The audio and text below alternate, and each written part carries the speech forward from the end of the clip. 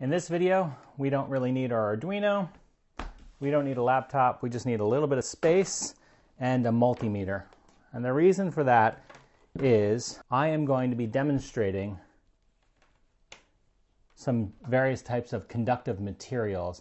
Some people like to call them smart materials, but the reality is there's not too much that's smart about copper tape. But you could use them in smart projects. Copper tape is adhesive back copper foil and allows you to make soft connections between devices. So it's very popular in wearables and say a paper prototype or somewhere where you need to sneak in some very thin wires. And it's conductive, as are all of the things that I'm going to show you in this video.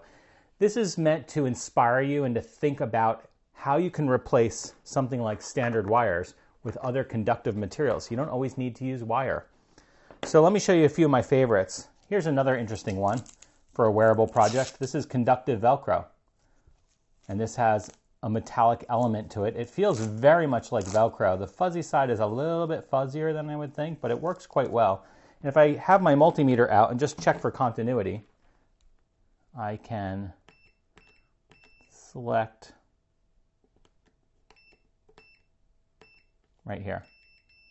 It'll make a beep when there's continuity. So if I were to take this Velcro and just go from here to here, it's beeping because it's conductive. Think about that for a wearable product. Here's some fabric. Yep, conductive. And there's all different kinds of weaves. Now, speaking of fabric and thread, here's thread. I don't know if I can get my probes on there good enough. There you go. Conductive. The two main varieties are stainless and silver. I really like the silver. I like the look of silver, but that being said, guess what? Silver tarnishes. You build a project or a wearable that has silver thread sewn in to replace the wires, and eventually that silver is going to tarnish and it just doesn't work that well. So keep that in mind.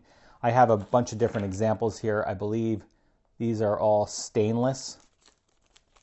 I don't have any silver ones because I kind of avoid it.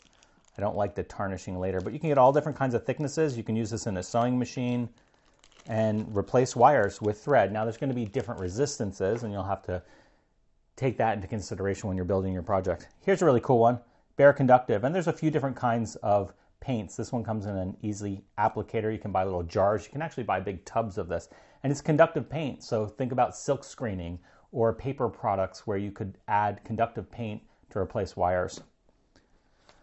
This is one of my favorite ones.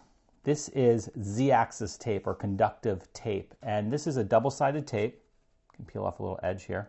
Just like a standard double-sided tape. But what's interesting about this one is it's only conductive when looking at it this way, vertically, and not horizontally. So if I were to, and I, I really can't do this as a demo, but if I were to go here to here, it wouldn't be conductive. But if I were to go from here to here, it would be conductive. So really neat for using Z-axis tape for maybe attaching LEDs to a surface.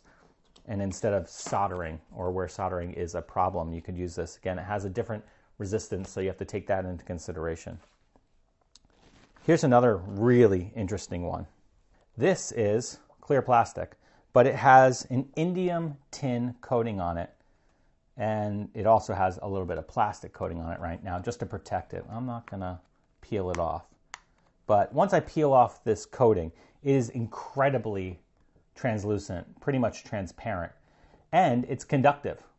So I could say cut a piece off here and scratch in the surface another line if I attach an LED to one side and batteries to the other. I can replace those wires with transparent plastic. Pretty cool fairly expensive. Speaking of indium tin coatings, you can also get it on glass.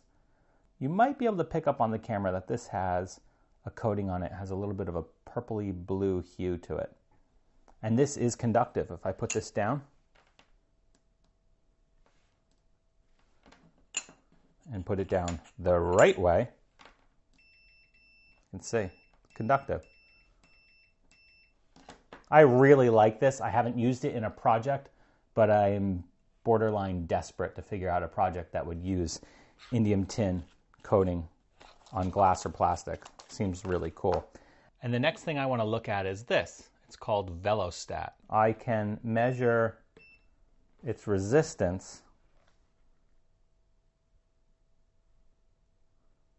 with pressure. If you can see on here, I've got my two leads, top and bottom, and I put them together.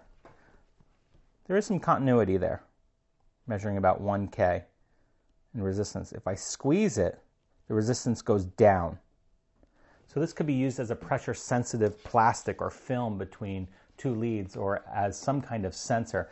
That's not going to be as accurate as another type of pressure sensor, but it's a very interesting type of plastic that you could use in your project.